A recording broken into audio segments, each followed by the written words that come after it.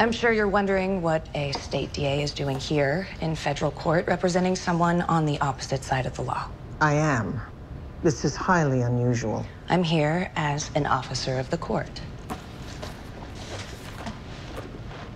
This is Oliver Queen's current condition.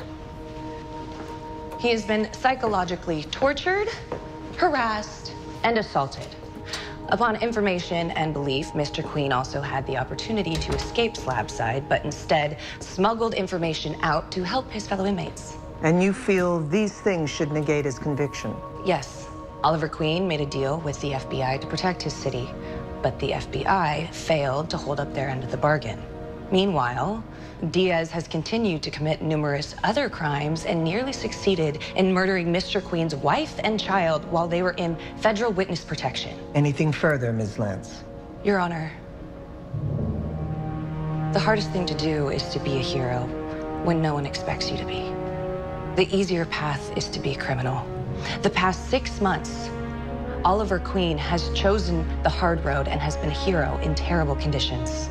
And since the FBI has not held up their end of the deal, Oliver Queen deserves to be a free man. I agree that a federal investigation into the conditions of Slabside should be ordered. However, I'm unconvinced that Mr. Queen should be released at this time. Therefore, his conviction stands. Your appeal is denied. Dr.